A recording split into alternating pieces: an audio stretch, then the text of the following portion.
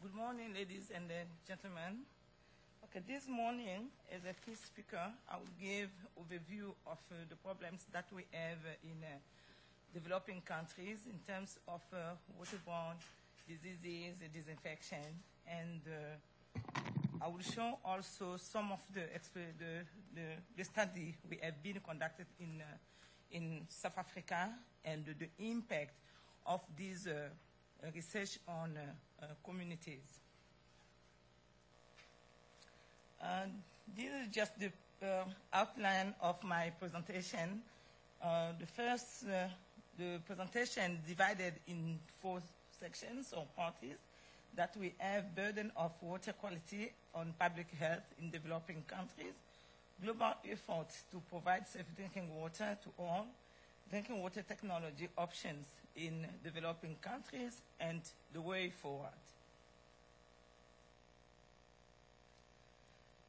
Okay, we start with uh, the first one, and uh, I wanted here just to show you how polluted water is impact on our daily life in, in terms of uh, cost effectiveness of prevention when water is polluted, what can be the cost of that uh, pollution of water, and from there we have a preventive expenditure, that the cost that uh, we have to spend, all we have to see when the water is already polluted. And uh, it also impacts on movement of, of people. They have to replace, to, uh, to go from one area to another one because of the polluted water. On the other side, the health uh, effect that come with diseases and sicknesses. And when someone is sick, means that he will be not able to work, loss of earning, medical costs that come up with uh, the health aspect, and the death. The death is that loss of capital because we have people, educated people, or who can really participate in the development of the country, but because of the polluted water, now we're going to lose that uh, uh, capital.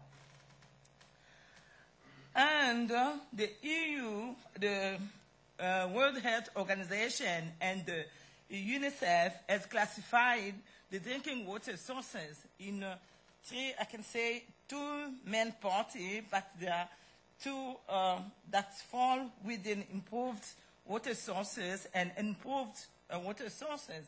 In improved water sources, we have piped water on premises, and we have other improved one and the improved one, and this part is the one that really uh, developing country, especially in rural areas, they depend on because they don't have really the pipe, the first part, and the, the second party, especially in Africa, in uh, uh, dispersed areas. And uh, what can be the consequences? Yeah. Safe drinking water is a major public health concern in developing countries. As you know, that uh, contaminated water kills more than the cancer. We worry about cancer, we worry about AIDS, we worry about war and uh, accident. But we don't see really the impact of water uh, polluted water in our life, especially for those people who don't have uh, safe drinking water. And diarrhea and dysentery claims the life of approximately 2 million people in uh, 2005. And 75% of all the diseases in developing countries arise from polluted drinking water. And the most what, who are the victims? Children. Children are the victims. And we have to protect children because children are the future of the world. If we don't protect children, what is going to happen to this world?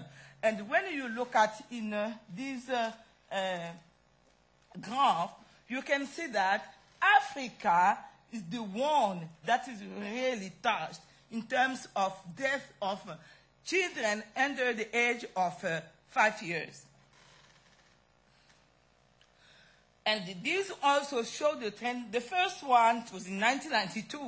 Since 1992, we can see Africa is leading on the death of uh, uh, children under the age of uh, uh four. And in 2004, the WHO also show us how the diarrhea in, in Africa still high, 46%, when you compare to what is happening in the whole world. And in, uh, followed by uh, South Asia. Means that those two, South Asia and Africa, are the leading countries in the world in terms of the death of children and the diarrhea because of the diarrheal diseases. And in the SADC region, SADC means Southern African Development Community on the, the, the, the, the part of, of the Africa. What is going on? What is the impact of lack of uh, water, drinking water, and sanitation? And especially the poor people are the victims, and especially women and the children are the main victims who have to go around and around looking for drinking water. I have some pictures that I'm going to show you how these individuals, means women and children, have to move long distance to go and collect water in uh, different sources. And the burden, look at, when we consider here, you can see how Angola is the leading one in terms of uh, mortality due to diarrheal diseases, and following by Madagascar and, uh, uh, and the Democratic Republic of Congo. And in terms of cholera outbreak, you can see that the Democratic Republic of Congo is leading with 30,150 cholera, uh, uh, cholera outbreak, uh, followed by Zimbabwe recently that we had those uh, cases in uh, Zimbabwe. And what is the global effort? Because the world can't not see people dying, and especially children dying, because of uh, the disease that we have to prevent. The real disease, uh, most of is easy to prevent this by providing to people safe drinking water.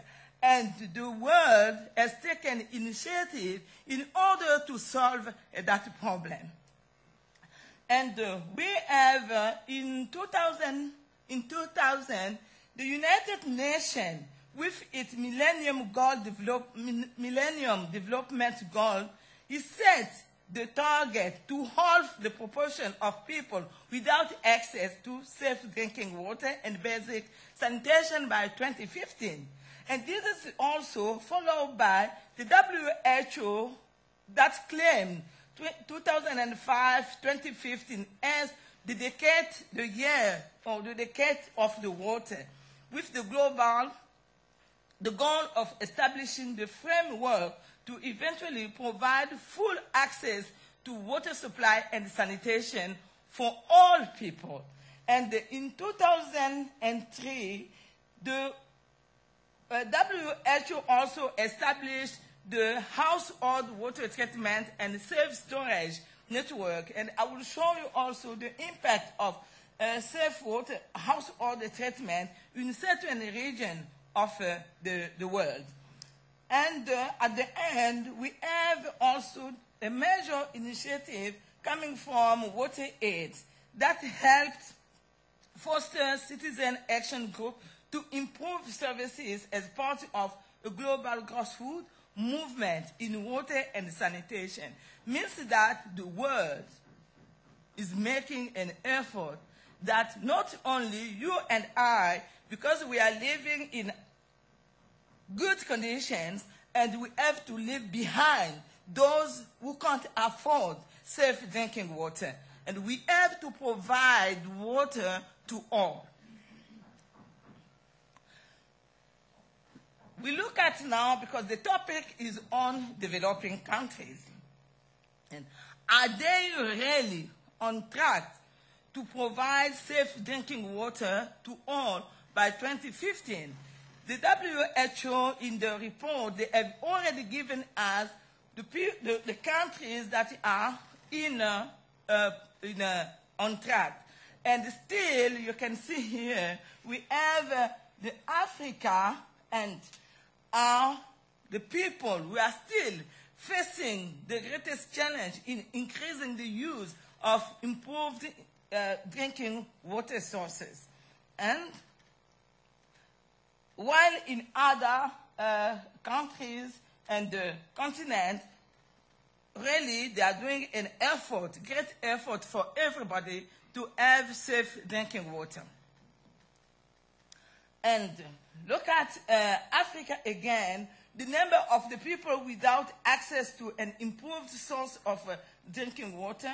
You can see we have here um, 348 348 um, a million of people in Africa who still not have uh, safe drinking water sources, and almost only only, only 6% of African population have access to improved source of uh, uh, drinking water, while the estimated figure by 2015 showed that we have 605 million people without access to an improved uh, drinking water sources. Yeah, these uh, figures also show us in case of China and India, they have done, the progress is great. But when you look at overall, you can see that we still have problems in uh, China and India with 216 million people still without access to improved um, water supply. And this also, the World Health Organization and UNICEF have shown us that there are disparities between urban areas and uh, uh, rural areas, and especially in African countries where rural areas and uh, people who are living in dispersed area, they still depend on uh, surface water that is not treated and also on a impo- non-improved source of water.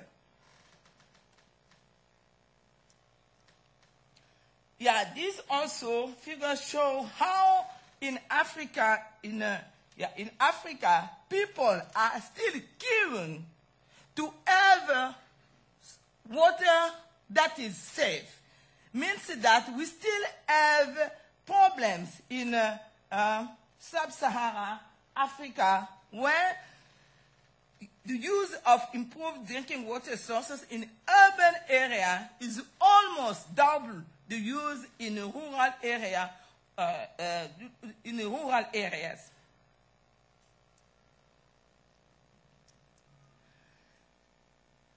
Yeah, these figures show us the people, as I said initially, we have a look at this woman going from far just to come and find out where she can get some water, and that water is not even treated. They depend totally on uh, surface water that is not really uh, treated. And you can see here the color of the water that is, is, is sourced by uh, these people. And I can give an example here in the Democratic Republic of Congo where we can see this is a spring. And which type of spring that people really are fighting to get some water. It's really a big issue in uh, African um, uh, region or in uh, developing countries. And small children, you can see here, this is just a child with uh, a container going to look for the water that is not even of high quality. And while in a uh, urban area, they have pipe water that is distributed all over the places and uh, inside the houses. And there are also the access of safe water varies among nations and within nations. Okay, in Democratic Republic of Congo, as you can see, although only 26% of the population out of 67 million have safe drinking water. And out of this 26%, 70% have uh, 27% of cities and uh, towns have safe drinking water, while only 17% of the population in rural areas have safe drinking water. This shows the disparity. And uh, while also in a, a Lao People Democratic Republic, the situation is reversed in a way that more people are getting water in rural, safe drinking water in rural areas than in uh, urban areas. Drinking water technology options in developing countries. As you know, more than 8% of the world population lives in developing countries. Technology to make water safe must be accessible, affordable, environmentally sound, and tailored to nations' cultural norms. That is what is missing because you can bring technology and the people they have the way of living, they have tradition. We have to link technology with the tradition in order that the technology can be accepted.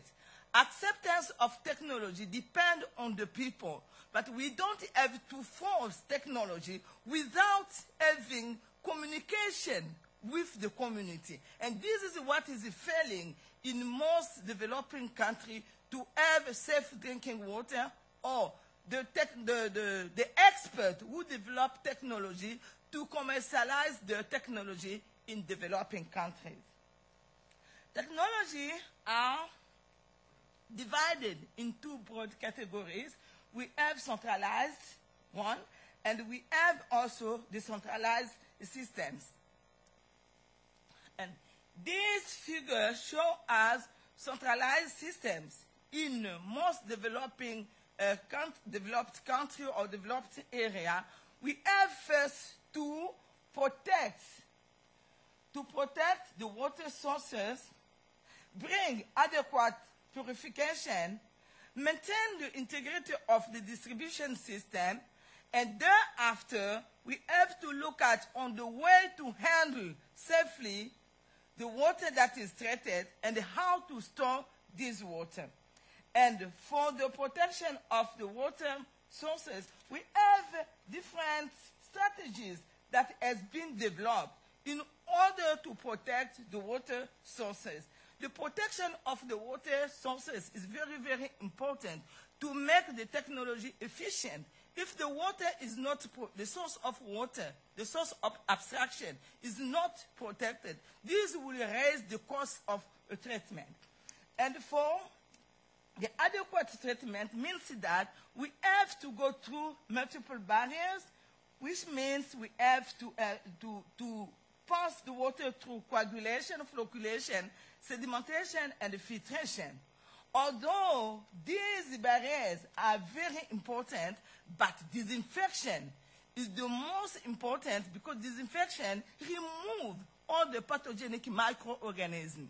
You can use all these processes, but without disinfection, the water can't be at 100% safe and the maintenance of the distribution system because we have to distribute the water from the point of this, uh, treatment to the point of use. And this must pass through the distribution system, through the pipe. And we have to maintain the integrity of the distribution systems. And for that, the maintenance of the, the dis- disinfectant residual is very, very important. We can use different technology but if we don't have some disinfectant residual during the distribution of the water, the water can be recontaminated because in the distribution system, we have the formation of biofilms. Therefore, we have to control the formation of biofilms in the distribution system. Uh, on my early 90s, for my uh, PhD, I did a comparison of different disinfectants, means chlorine, monochloramine, UV, and uh, hydrogen peroxide, to see which one can control the integrity of the distribution systems in terms of biofilms formation. And I found that monochloramine lasts three to four days in the distribution system than chlorine.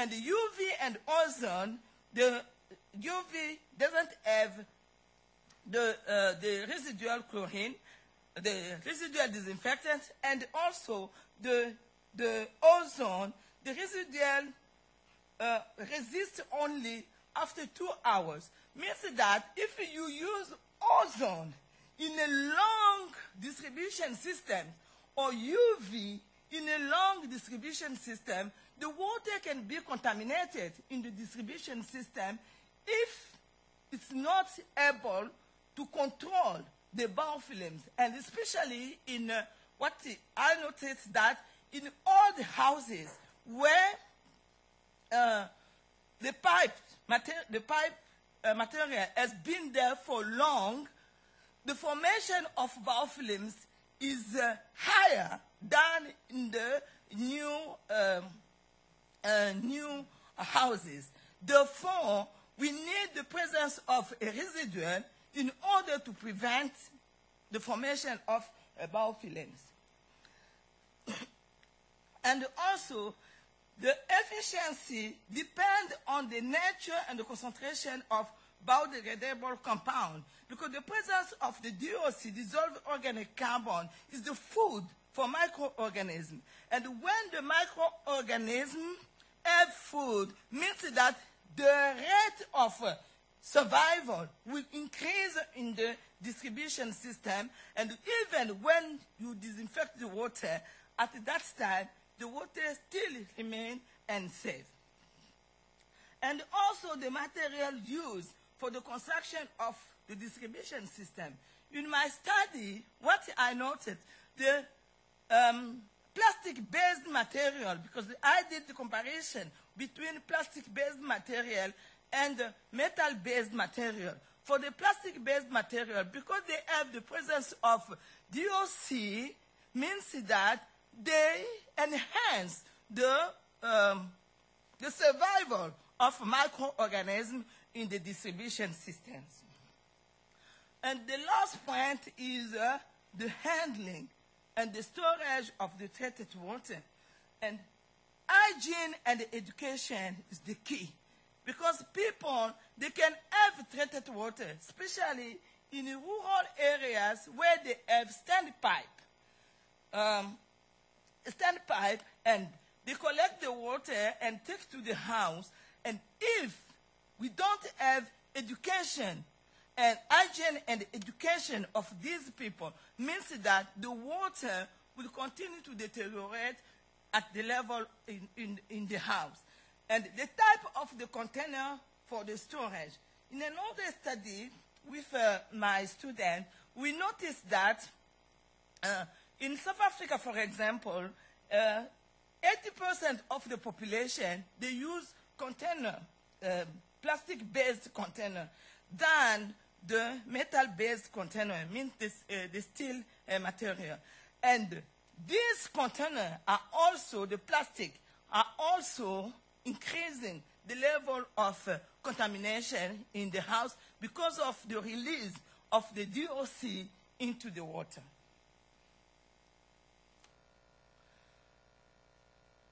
What are now the typical step, steps in achieving effective disinfection in centralized systems? The first one is the protection of the water, the, the, source, the source of water from contamination, adequate purification and disinfection of water in the water treatment plant, maintaining the integrity of the distribution system, and safe handling and storage of treated water by consumer. Common treatment practice in developing countries, as you know, in developing, in uh, developing countries, we have uh, this step for the treatment of the, of the uh, uh, of uh, drinking water. And each of these steps, as you can see there, got a purpose. And for example, for uh, the pre-chlorination, can remove the color, the iron, or the manganese, and also prevent biofilm growth in the channels and the settling tank and the filter. And you can also see for the finished water storage, as I said, after disinfection, the treated water must flow to storage reservoir near the plant. And this will allow sufficient time for chlorine to act and ensure an adequate supply of water during period of high demand or dis disruption to the operation of the plant.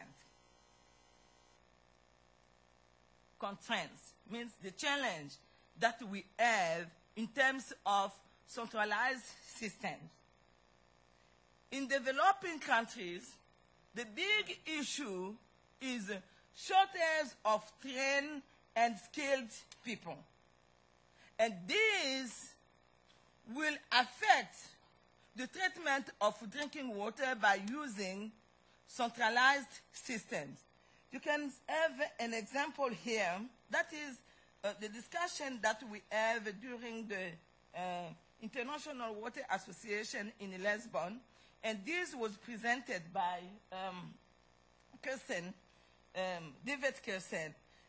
You can see in this column, we have the capacity. For example, in Ghana, we have 10,400. That is the capacity. And the shortage of the people, skilled people, we can be able to treat drinking water is uh, 597,000, more than 597,000. And this means that the shortage of skills is very high in developing countries. There is therefore a need to train people and skilled people who will be able to treat uh, drinking water in developing uh, countries.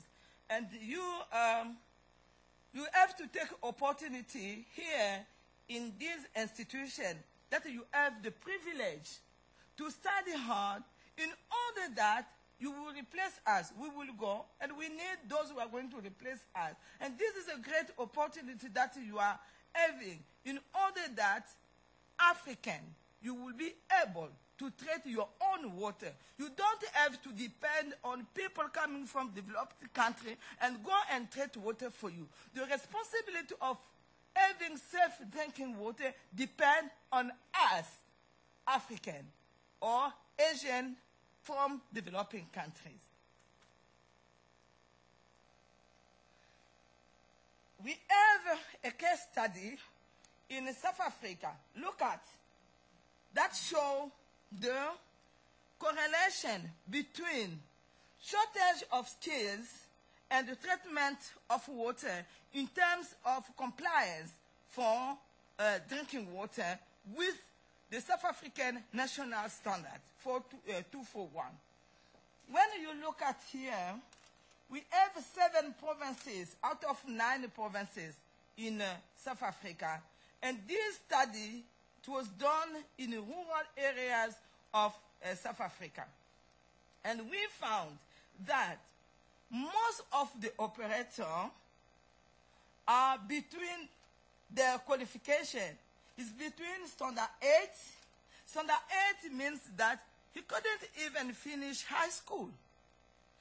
And matric. Matric means what? They have got the certificate for high school. And look at for post-matric, the level is, is too low in uh, most of the provinces, except in the Western Cape.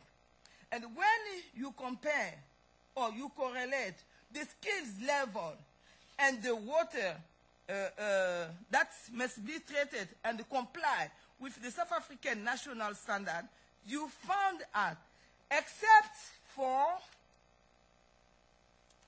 for the Free State, province, other provinces, out of 173 small water treatment systems, they were not able to comply with the bacteriological quality of the water at the point of treatment. And this is serious because at the point of treatment, the water at least must be saved before being distributed to the consumer. And this means the problem that we have in the country. Shortage of human resources capacity is over 70% for small water treatment system we visited during that period in 2008, between 2000, 2007 and 2008. And the operator, they have lack of knowledge for flow rate measurement. They are not able to dose the coagulant. They can't correlate the flow rate and the dosage of the, the, the, the, the chemicals. And also, they are not able even to do the chlorine demand of the water in order that you can have the right dose that you will be able to use to disinfect your water. And also, in service, in service training is lacking and is lack of communication between operating staff and management. And this was a serious problem for us to find that all of these rural areas in South Africa, most of them, they are not able to get safe drinking water. And if in South Africa the situation is like this, what about the rest of Africa? Because in South Africa, at least, we have infrastructure. And these provinces, they have good infrastructure in terms of water treatment. But what is lacking is uh, the skills. Is a need for us to train more people in water, um, in water, uh, uh in water, in water sector. The second one is large financial input. The cost of centralized systems is very high, and especially in, in uh, dispersed areas, because this area, it will be, to take years for countries in Africa to use centralized water in dispersed areas of rural communities. And for example, in Kenya, people living in slum pay five to ten times more for water per unity than those in high income incomes area. And also, the third one is lack of access, regulation, and public utilities. And this is the, one of the most important factors for people to get safe drinking water in uh, uh, sub-Sahara Africa. This is for the whole sub-Sahara Africa and also in, uh, yeah, the whole sub-Sahara Africa. What are the overall challenges for implementation of central systems in rural and the peri-urban areas? Yeah. As I said, centralized system could take decades to be established in dispersed area and especially in rural areas. And rapid growth and planned peri-urban areas are also not effectively served by centralized systems and the centralized system approach are often plagued with high cost, as I said. What can be the most important barrier in order to produce, to serve people with safe drinking water, disinfection. Because at least disinfection will remove pathogenic organisms to prevent waterborne diseases. Unless we have the presence of the chemicals that can be toxic and that can affect the health of the population, that we can go for uh, centralized systems.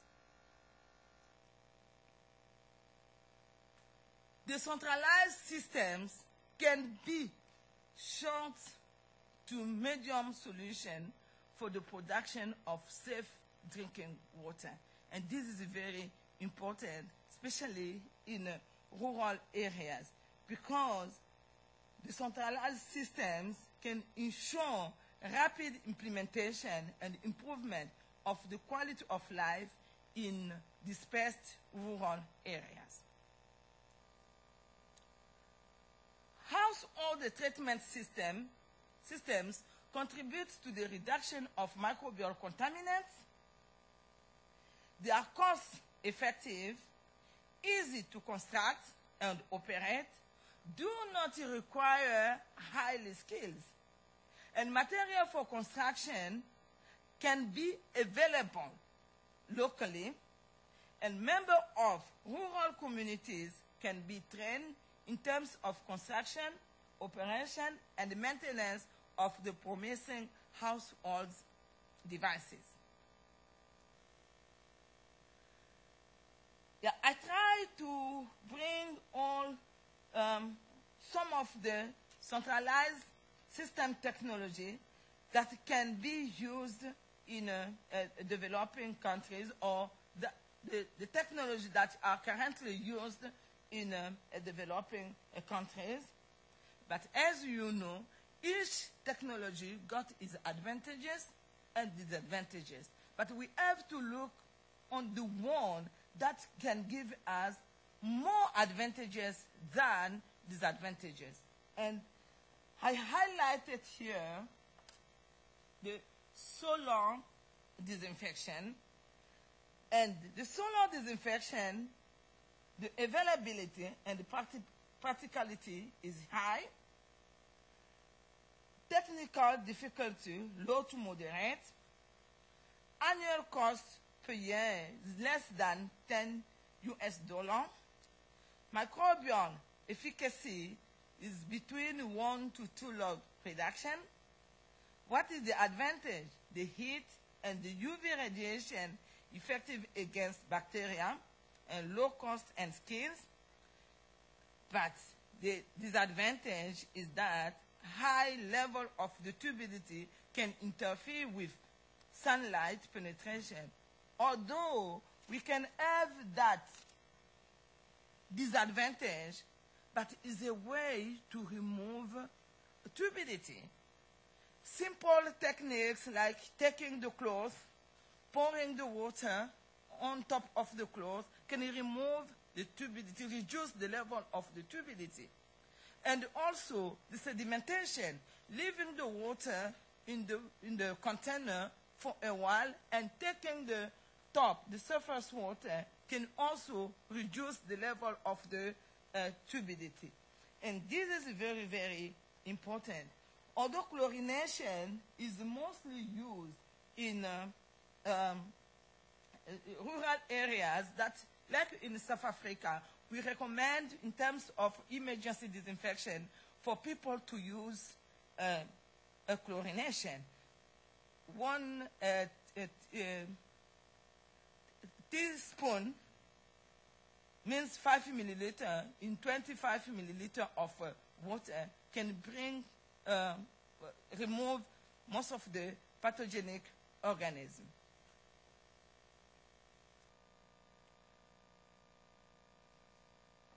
During the survey that we conducted also, we found out that filtration with ceramic filter are mostly used in uh, uh, many countries in the world. Chlorination with storage in an improved uh, vessel solar disinfection in clear bottle by the combined action of UV radiation and heat, thermal disinfection, combination system employing chemical coagulation like flocculation, sedimentation, filtration, and chlorination are also used during emergency situation. And all of these systems have demonstrated to to improve the microbial uh, quality of the water.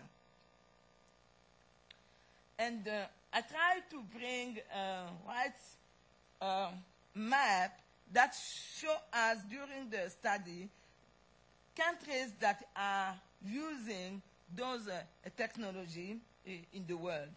And effective method at the family and community level can bring a rich supply of clean water with little effort and at reasonable cost. And this technology has been used in uh, different uh, countries as you can see in this map.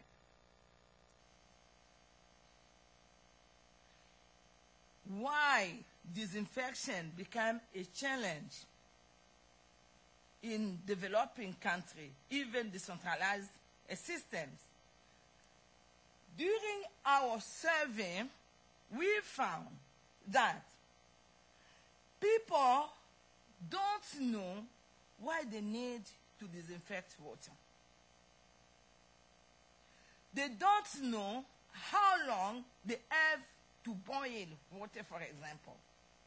They don't know what or the dose of the Jik, Jik means the bleach, to use or the contact time that is recommended. People are not aware of the association between dead particles and pathogens. People are not aware of the need to treat water to remove sediment. And you can go, there are 13 of these, uh, 14 of these uh, challenges when people are using decentralized systems. And this has given us a way to draft the guideline that is on the way for South African, how we can help the community to use these through these uh, centralized systems through education. They have to know why we have to disinfect the water. Because in rural areas, most of the people, they didn't go to school. They see the water is clear, means if when the stream is clear, for them, the water is safe. They can drink. They are not aware that that water can contain pathogenic organism. And that is why children, they suffer from diarrhea. And education is the key before coming to any implementation of the technology. Yeah, I put how to overcome the challenges. The first one is knowledge about water and health should be translated into action through community projects and research. The second one Improve the methodology and the indicators should be developed to quantify the health impact of intervention for water and hygiene.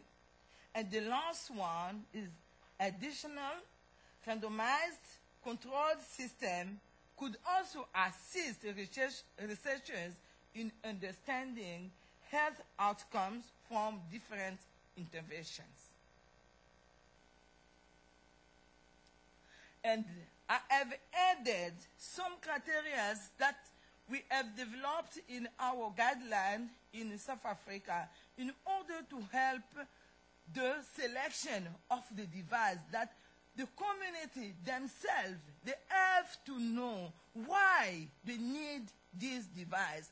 Have, you have to give them opportunity, the choice of selecting their own devices. And we have uh, the first one there are two, we divided in two categories, selection criteria, choice of device, devices evaluated in laboratory or in the field, and characteristic tested during laboratory and field work, can member of a rural community afford the cost is very, very important. Effective removal of pathogens. Final water quality must comply with the South African national standards. Effective reduction of turbidity. Turbidity of the treated water must comply with the SANS 241 that recommend us that the water turbidity must be less than 1 NTU. Easy construction and operation. Extensive knowledge not required for user in rural communities. We have to put ourselves in the mind of the people who are not educated. Sophisticated technology will never help rural areas to control the water. Means that we need easy technology. Themselves, they have to take care of operation and maintenance in order to be able to produce safe drinking water. Power requirements. In South Africa, we have crisis with power. Means that little or no energy is required for operation. And robustness of the systems. You have to test for how long the filter or the system, the device will take to allow the community to select the system. Produce minimum required volume of 25 liter per person per day. And you have to look at for that acceptable flow rate. Does not negatively affect lifestyle of consumer. We have to look at on social implication. Social acceptance of the technology is very, very important. And that is why I come to the question why is the acceptance of the technology of the household water treatment system by household a community is too so important? If a community is not aware of the technology, that the technology will never be accepted in the communities. Before designing any community, any, any technology, if your intention is to transfer that technology or to bring that technology to the community, go first to the community, find out their needs, work hand in hand with them in order that you will be able to sell your technology and make sure that that technology has been accepted before you design that technology. Yeah. This is just um, some of the example we have developed in our lab. Um, we call SIP, silver impregnated um, porous pots. And that is different from the porous pots that uh, Kenya are currently selling. The difference is that for our technology, the silver is impregnated before firing the pot. And this make the silver to last. Up to now, we are still using those pots and evaluating with the community for how long the silver can be depleted. It took us now, it's now two years that the silver that is nanoparticles inside the clay pot still working and at the recommended limit by the WHO, which is 0.1 milligram per liter. And before designing this, we went to the community. We look at the need. This community, Makwane village, is situated in the Limpopo province and they don't have any piping system. They collect water, any water they found in the uh, community. and they drink that water. Our study have shown that recently we did a survey and we found out of five children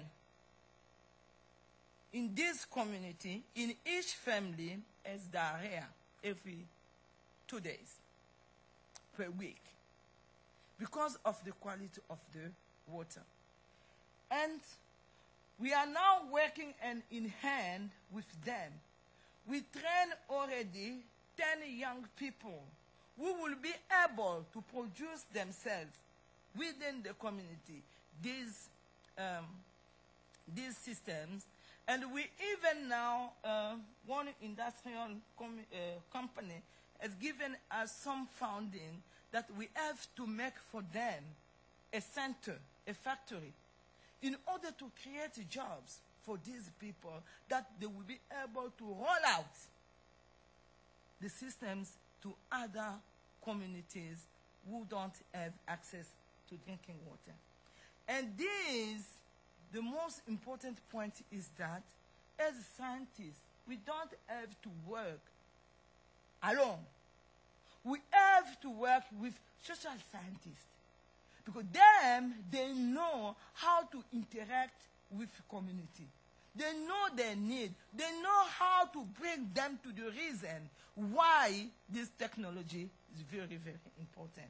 And indeed, we have my colleague from the TUT, Professor Rugubana, who is a social scientist. We work together in order to implement our technology to communities. Okay, this is the explanation how uh, the operation of the technology works. And these uh, I'm setting inside the house these uh, different technology. One we have about sand filtered with zeolite impregnated with silver, and another one is the clay pot. And what can be the way forward? Various household water systems and devices has been extensively reported in the literature.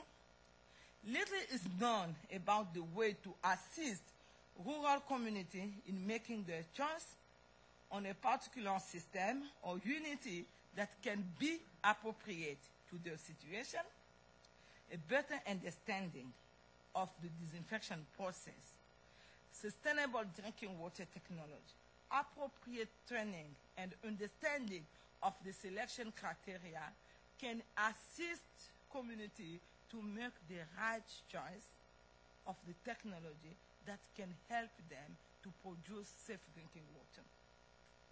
And African leaders must focus not only on the centralized water supply systems, but also on decentralized systems that are cost effective to provide access to safe drinking water to all. I would like to thank UNESCO IHE for supporting my travel cost for the purpose of this symposium and my institution, Tshwane University of Technology, all of our sponsors, and especially my students and my colleagues who are working in our water research group. I would like to thank also your people as you have come here to listen to my presentation. Thank you,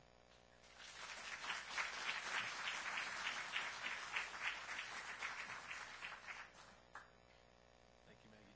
We have some time for some questions, please. Very, very interesting talk. A lot of interesting points, especially around the capacity building and the need for training.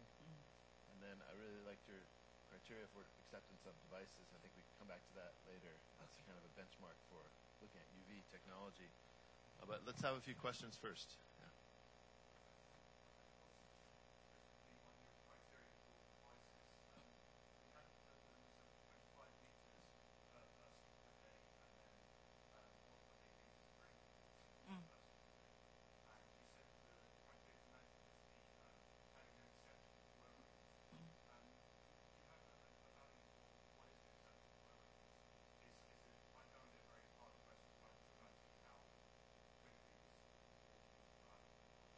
Yeah. It means that the technology that you are going to develop must be able to produce the flow rate means that the volume, the quantity of the water that will come out of these systems in order to match the recommended quantity or the recommended volume that is, is required for person per day.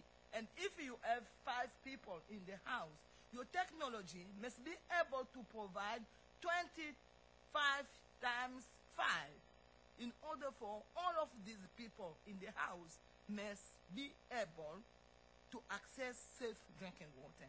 That safe drinking water, that 25 liters means that the water that they can drink, the water that they can cook, the water that they can wash their hands, the water that sometimes they can wash their face or although they can use from time to time surface water uh, to, to bath, but remember, bathing also is an implication on the um, transfer of pathogenic organisms. Means the water must be clean. Your system must produce the required quantity of the water that people need in order to prevent waterborne diseases in the communities. Other questions? Um, yeah.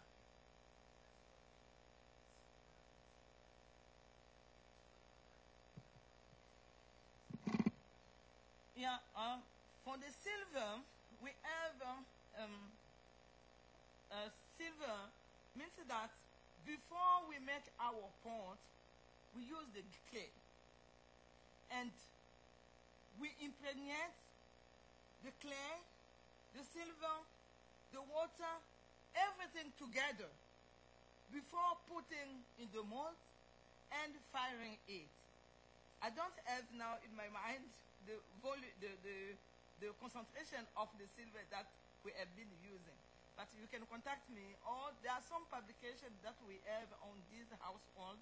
When you type Momba at all, you found those publications, and you can have the concentration of the silver that can be mixed with the a proportion with the clay and all the elements that are needed. In the, yeah, it's just the main issue here is that the firing process help to produce the nanoparticles that are impregnated in the clay.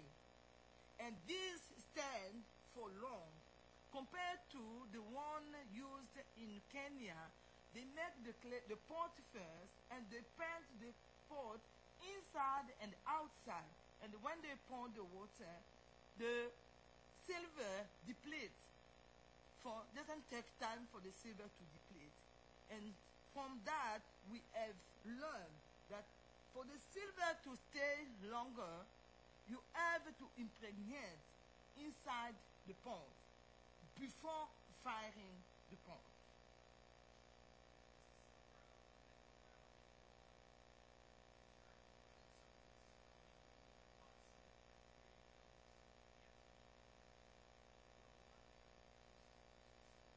The, I don't understand. Yeah, your the, the question. Silver is a biocide. Mouse Yeah, very low levels can be a biocide for bacterial inactivation.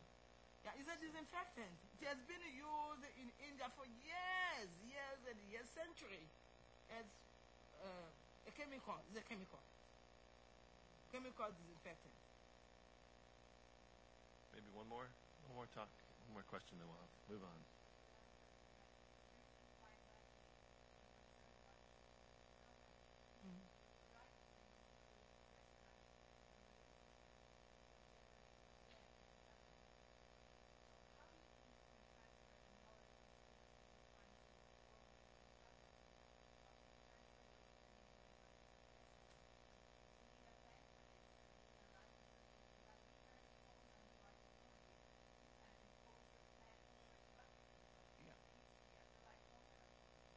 In uh, Safa, at our institution, our institution has 60,000 students that we register.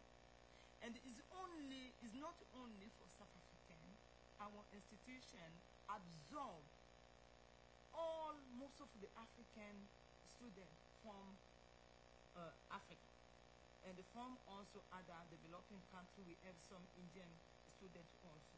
And with this, help us to train more students, not only in the SADC region. Our proportion is that we care first about the SADC region. And SADC region, the proportion is South African is uh, we have to train 70% of South African, 20% of the SADC region, and 10% of other African and other countries. And with this, it helps us also to train African. Yeah. And why we selected those criteria because of the the funding. And the South African, as you know, during apartheid, the education were focusing only in uh, white people, while uh, Africans, black, they were not educated. And in South Africa, two thirds of the population are African, uh, black. Therefore, we have to bring the balance in order that all white and black can be a trend. And TUT is most, one of the institutions that has trained uh, water in terms of uh, um, train people in terms of water from diploma. Now even the collaboration we have with you, we have developed, helped us to develop the curriculum for um, for advanced uh, certificate, and that will be introduced uh, next year. And from there, the advanced is especially for the operator. That those who are still, those who are working in water sector, they can come and improve the level of uh, their education for the treatment of drinking water. And the collaboration that we have with you, it helps us to boost our uh, the number of our students, not only in South Africa, but also in the whole Africa. Thank you once again. Excellent keynote.